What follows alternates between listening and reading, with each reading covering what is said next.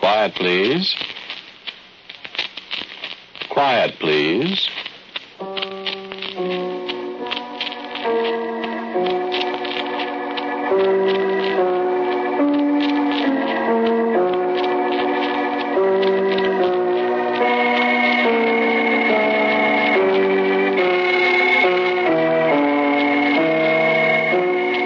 The American Broadcasting Company presents Quiet Please, which is written and directed by Wyllis Cooper and which features Ernest Chappell. Quiet Please for tonight is called The Oldest Man in the World.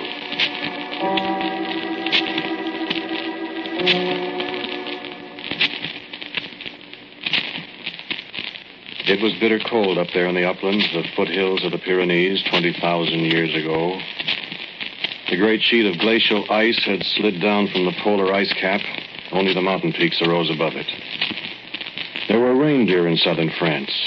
Reindeer and the great shaggy bison. The long haired ancestor of the horse lived somehow on those dead hills in the bitter cold of 200 centuries ago. No man wrote down the time when the sullen glaciers let go their icy hold on the countryside, for there were no men to see it. Only the fierce great bears roaming the barren, frigid hills, preying horribly on the reindeer and the bison and the gentle, frightened horses. Where the men came from, nobody knows. Perhaps they struggled up from the Spanish peninsula over the jagged passes of the Pyrenees, following the retreating wall of ice. Perhaps they. But it's fruitless to speculate. The ice melted away to the north, then the earth appeared, and there were men living in the high caves of the Pyrenees. In the Cro-Magnon caves along the Dordogne in France, they found what they said was indisputable evidence of prehistoric man. An intelligent, walking upright man who made weapons, fought, worshipped, and died. The Cro-Magnon man. You've seen the drawings they made of him. A beetle-browed, heavy-jawed caveman. A short step on the ladder of evolution above his anthropoid forebears. In certain caves hidden away in the foothills of the Pyrenees, you can find drawings that the Cro-Magnon man scratched on the cave walls 20,000 years ago. So he did live and flourish and finally perished. And they say he vanished utterly.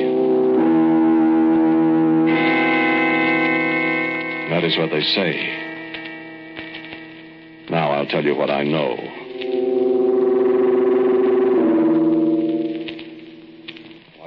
Think I ought to tell Lucas. I know the story even better. Did you hear that? Did you hear a voice speaking to you? I thought I heard a voice. I thought I heard Harry's voice. Listen. It, it couldn't be Harry's voice, could it? Not Harry's voice. Harry is. Harry's dead. Harry. And the last time I saw Harry alive was 27 years ago this coming August. Listen. It, it can't be. I wonder if Harry's bicycle is still up there beneath a clump of bushes. They'd be trees now. Up there at the mouth of the cave on the road. The lonesome road that leads past the ruins of the castle of Montespan. The frame will be rusty, and the tires will be in shreds, and the shiny leather will be weather-worn and mildewed. If some village boy from Montespan didn't find the bicycle and ride it away many years ago. But I doubt anybody found it. Nobody found the mouth of that cave. Not for 20,000 years.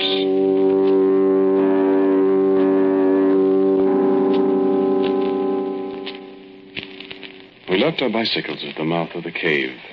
Harry and Lucille and I. We can sit here in the cave until the storm's over.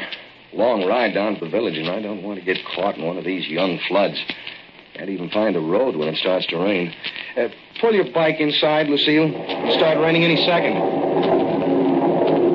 We made it just in time, it looks like. It's down, Lucas. Here, Lucille. Yeah, one cigarette. Here. Here. Thanks. Me. You boys are so polite. No, no, no, not three from one match, Lucille. Oh, you. I haven't got any matches. Here. Thanks. Lightning. Practically never strikes Cave. Oh, sit closer to me. Ah. Cold, Lucille? I don't like lightning. There comes the rain. Let's get farther inside. It's coming right in here. It's probably damp in there, too. No, it's nice and dry. Dark, though. Come on, Lucas. Blowing right in there. I'll say it is. Where are you, Lucille? Here. Dry leaf. Oh, fine. Sit down. Sit down, Lucas. Not on me. I can't see you. Oh. this is all right. Comfortable, Lucille? Fine. Ooh, listen to it rain. Nice and cozy in here. Yeah, no wonder they lived in caves. Who? Oh, Cavemen. Cro-Magnon men. suppose any of them lived in here? Big cave. Seems big, anyway. Well, probably they did. Lived in all the caves around here. Remember what the abbey told us down the village? On trouve les reliques partout. Sure, they find relics everywhere. They lived here all right. Nobody home now, though. Hardly. Yeah, that was 20,000 years ago. Was you there, Charlie? Oh, Yeah, they lived in all the caves around here. They must have lived here. They've explored all the caves from here to Toulouse. Mm, This one's kind of hidden, though. We just found it by accident. Good accident. Well, we'd be out in that.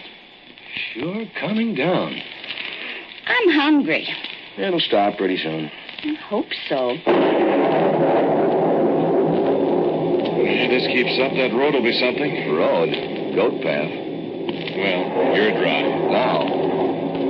Where are you going, Lucille? Exploring. Find a caveman. What's the matter with me? You're too gentle. I can get rough. Don't go far, Lucille. Break your leg in the dark back there. Yeah, and I don't want to have to carry you down that mountainside in the mud. I've got my flashlight. Be careful. You got another cigarette? Hmm. Yeah, match. You got nothing but the habit, Lucas. Thanks. Cave goes way back under the hill. Well, be careful. Oh, shut up. My bride. Yeah, I wonder if this cave really has been explored. I wouldn't know. It'd be nice to find a souvenir, take home with us. What kind of souvenir? Hmm. Bone or something. With some caveman's name carved on it. Property of Ugg, son of Gug. Yeah, carve things on bones. Hmm. Carve pictures on the walls of the caves. How are you going to pry the wall off a cave? Lucille? Lucille? Hey, Lucille! I'm all right. Hey, there's bats in here. What'd you expect? Robins? Ostriches. I wouldn't wander around back there, Lucille. I'm all right. Well, be careful. Come back here. In a minute.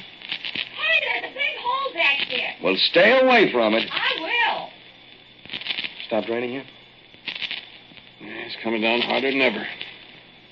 Getting dark out, too. Well, we're dry. None of um, that brandy left, is there? I heard that. Well, there ain't any. Drink it up. I don't want any. We should come back here. In a minute. Hey, this is wonderful back here. Well, come on back here. Gosh, it's dark. Come back before you get lost. All right. See any pictures back there? Uh, it's like the Louvre, dearie. The what?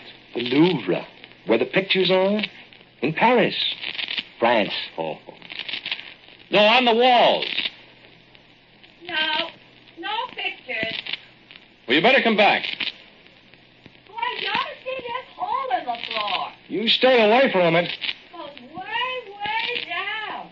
I think there's water down there. Water outside, too. Oh, Lucille, come back here now. Stop fooling around. You'll break your... No, I won't. You will, too. You... Hey! What's the matter? You... Lucille? Lucille? Lucille. Get back here! What's the matter with you? What is it? What? Get back here, quick! Come on, Lucas. Uh, wait, I'll get my flashlight. Lucille, now stand still. Look out for that hole Harry. Look out, this way. What happened? What is it? You're both scared to death. What happened? Look! What? A footprint. A caveman's footprint. Well, let's see. In the solid rock. How, how did it get there? Yeah. A caveman put it there. 20,000 years ago. In the solid rock? That was soft mud 20,000 years ago. And a man, a beetle browed, heavy jawed, Cro-Magnon man, left it there in the soft limestone mud. And the mud has hardened through all those 200 times a 100 years, and it's. It looks as if he just walked away from it. And the man that made it, he's not even a dead man anymore. He, he died. He was a skeleton somewhere in here in the bowels of the earth. The centuries went on and on. He's. why, He's not even dust. The man that made that footprint. It scares me. You don't need to be afraid of him, Lucille. Listen. Harry, Thunder. Thunder, that's all. hold my hand, Harry. I'm scared all of a sudden. There's nothing to be afraid of. Harry, I know there's nothing to be afraid of, Lucas, but. But let's get out of here. I'm scared. come on, dear. Uh, let's go back where we were and, and not wander around till the rain stops. Uh, over this way, Harry.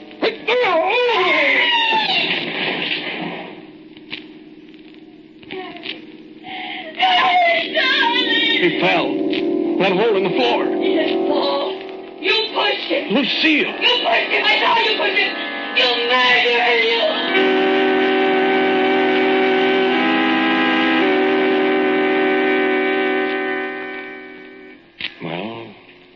Pushed him. His eyes were on the footprint on the yellow limestone floor of the cave as he took a backward step directly toward the yawning hole that led to. And I pushed him into. Just the lightest touch on his arm, just enough to take his balance away from him on that glaze of ancient crystalline limestone. Just the lightest push. And Lucille saw it. Of course. Lucille had promised to marry me. That was before Harry's time. Lucille loved me. That was before Harry's time. I loved Lucille. Before Harry's time and after Harry's time and always. But she married Harry. They asked me to come along to the south of France with them, the old good friend, the friend of the family, the man who loved and lost and forgave and wrapped up his broken heart. Lucas the unjealous. Lucas the good loser, the good fellow, good old Lucas. And at last the storm sent opportunity deep in the cave where the oldest man in the world had lived. He would forget the man who died of an accident in that ancient place. And in time, the good friend would take up his role as the lover, the role he had never forgotten. And... But Lucille saw what I did. I remember the thoughts that raced through my mind as we stood beside that pit there in the brief lights from our paltry flashlights. I'll have to do something. I'll have to try. I'll have to make it look as if I was only trying to save him from falling. He's dead down there. He hit his head on the rocks as he fell, or he's drowned in those black waters down there. I'll have to do something to convince her. Look. Look there at the side of the pit. Why, a man could climb down there. I would only have to climb part way down to make it look good. To make it look as if I really wanted to rescue him. It'll be a great act. I won't fall. I'll make it look good. She'll be sure I was trying to save him if I climbed down after him. And he's dead anyway. I'll- I saw him do it. I saw the murderer. I saw him push you. The murderer. Lucille, you're being absurd. Lucille, listen to me. You know perfectly well I didn't push Harry. You know I didn't, Lucille. I reached out as I saw his foot slipping on the floor there, and I tried to save him from falling, but I didn't push him. Lucille, you know I didn't push him. Why, Harry's my best friend, Lucille. Why should I try to kill him? Why, I love you. And I love Harry like a brother, Lucille. I didn't push him. I tried to save his life. Listen, Lucille. Listen. stop crying a second. I'm going down there. See where it looks as if the steps, steps the old cavemen made themselves so long ago? Now you stay right here, Lucille, and I'll go down and I'll do everything I can to bring Harry back to you. No, now stay there and wait. Wait, Lucille, wait. I, I can climb down. No, no. No, I don't want you to do it. Let me go, Lucille. No. I know you want to make sure he's dead when you get down there. No. No, you want to make sure he's dead because I don't know. Why, Lucille. Wouldn't you. Well, Lucille, I thought that's fine. I hadn't thought of that. He might be still alive down there. But he won't be, Lucille, darling, when I come back. Why, thank you very much for the suggestion, I thought. That solves the whole problem very neatly. And now down the slippery steps cut into the limestone. Down, oh, so carefully in the dark. The little gurgling sound of dark waters below me. Careful. Mustn't fall yourself, Lucas. And up above, the dim beam from Lucille's flashlight. Was very, very neat as I climbed down.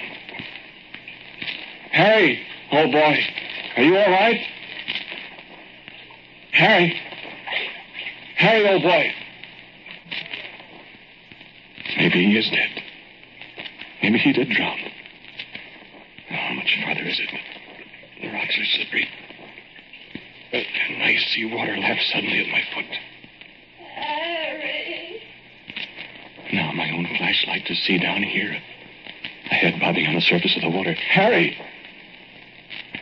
No. And beam sweeps back and forth over the swirling, dark, icy waters. Harry? This wall. The far wall. To the right. The left. Harry! Harry. I, I don't see him, Lucille. Harry. He, he's not down here.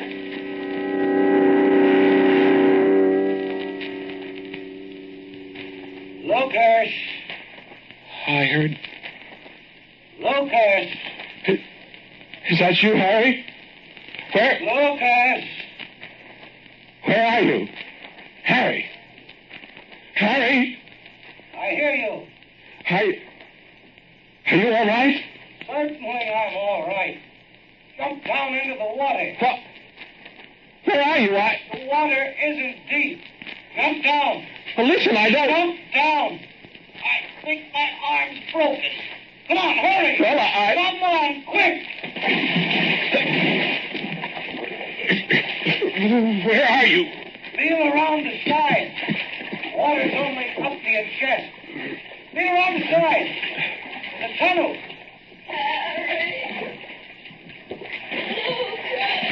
In the wet darkness, feeling around the slimy walls. Water lapping soggily at my chest. Keep feeling around. You'll find it.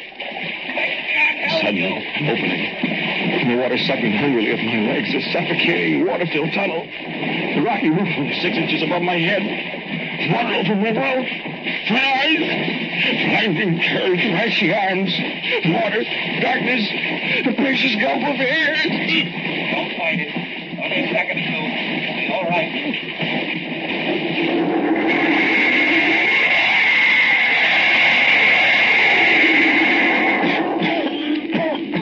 Harry, You're all right.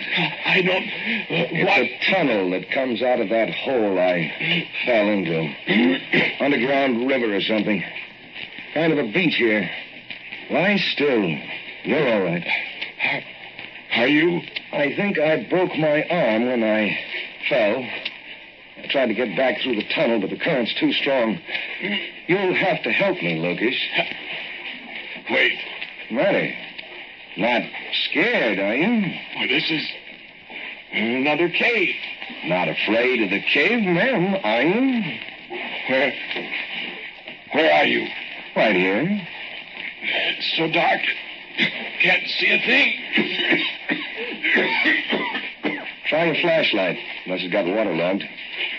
There. Does work. Stalactites.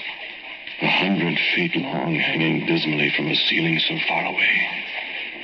The silent rushing underground river. And a shore of yellow crystallized limestone. Beside me, a wall deep scratched with giant drawings that I recognize in the feeble light as the great shaggy bison of the Ice Age. Rude drawings in red and black of the gentle little horses that roamed the countryside above me one day. A rude altar. And ancient, terrifying marks scratched into the solid rock in the days when it was soft mud. Marks that the cavemen's high priests must have made there in their Holy of Holies in the ancient cave. Beside me, the incredibly old statue of the great ice bear, looming horribly in the little light. The marks of the ritual stone spears clear in its hulking sides after 20,000 years. Look. The squat, menacing figure of, a, of an almost man. Beetle browed, heavy browed, heavy jawed, glaring horribly at me over Harry's shoulder. he he won't hurt you, Lucas. He's a statue, too. Now you know, don't you, what the oldest man in the world looked like? He, he, nobody's ever seen anything like that, Harry. Better save that light. We'll need it if we're going to get out of here to tell anybody about it. No, no, it's all right. This is a fresh battery. Harry. It's incredible. Look at his face. Solid limestone. Scare you, old boy? Come on, I want to get out of here. Can we? Oh, wait, Harry. I want to. Listen. I want to get Listen. out. That's the sound of the water. The river there. I thought I heard The sound of the water. back there in the shadow. Nothing. There is too something back there. the cavemen? The Cro-Magnon men alive after 20,000 years, Lucas? There's something. I can hear. Whatever it is, old man. Harry, What? you said you broke your arm. I said so. I said I couldn't get back through the passage with a broken arm, didn't I? Well, that's what you. A man couldn't get back there with a broken arm. Well, why? Because I wanted you in here with me, Lucas. I wanted you in here with whatever else is in here. Harry. You're the smart guy. You're the investigator. You're the man that knows all about the cavemen. You're the. What? A murderer, Lucas? Hi. I saw your face when you pushed me, murderer. So, No, no, wait. goodbye, Lucas. You're not going to leave me. I, I can get through that passage just as well as you can. Not with a broken arm, Lucas. Not with two broken arms. You're not. Hold out your arms, Lucas. No. No, you. Now, look what you've done, Lucas. You've smashed the oldest statue in the world to bits. Not content with attempted murder, you... I didn't. Hold out your arms, Lucas, and let's get Harry. this, this over. Drop that rock. Harry, I told you.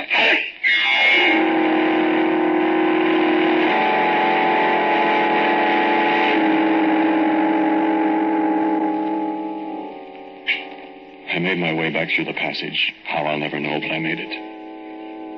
I made the climb up the slippery limestone walls of that dreadful pit up to the floor of the cave. I don't know how I did that.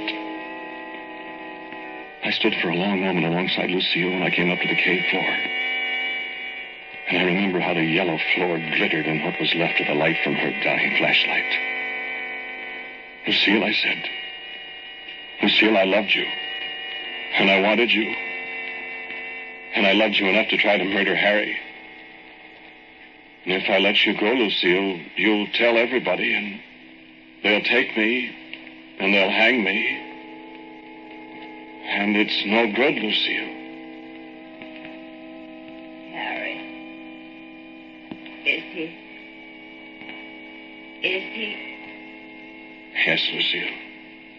Harry is dead. Harry is dead. You murdered him. No, Lucille. No, I didn't murder him. I tell you, I didn't murder him. But he's dead. Yes. He's dead, but I didn't murder. Then I don't want to live any longer. Yes, I know, Lucille.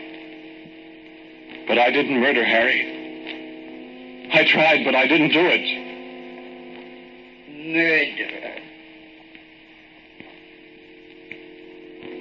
And I picked her up. And just as gently as I could, I dropped her over the edge of the yawning black pit. Down into the water down there. And before I loosened my hands and let her fall, I leaned over and I kissed her on the forehead because I did love her. Have hanged me. She wouldn't have believed me. Nobody in the world would have believed that thing that came out of the shadows behind Harry down there and lifted up a great jagged piece of the broken statue and smashed his head in. Nobody in the world would have believed me if I'd told them that Harry was killed by a real, live, breathing caveman. The last of the beetle-browed, heavy-jawed, squatty little men that lived 20,000 years ago. But that's what happened.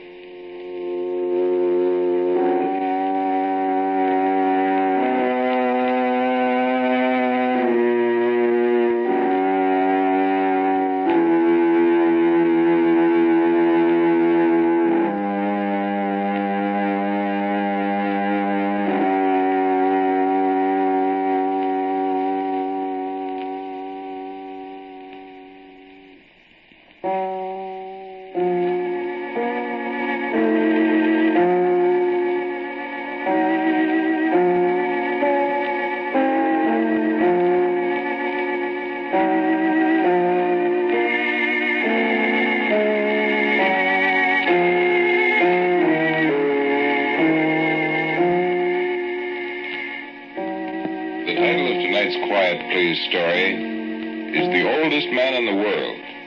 It was written and directed by Wyllis Cooper. And the man who spoke to you was Ernest Chappell. And Don Briggs was Harry.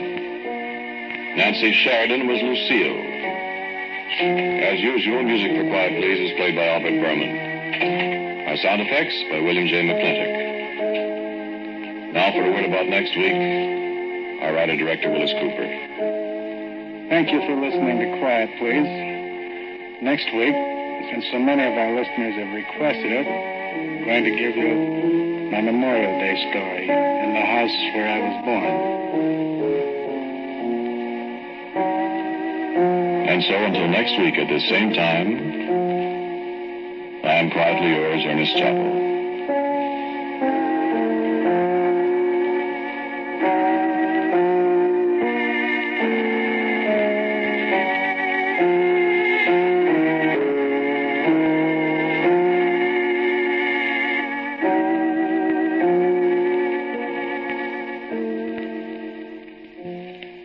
Is ABC, the American Broadcasting Company.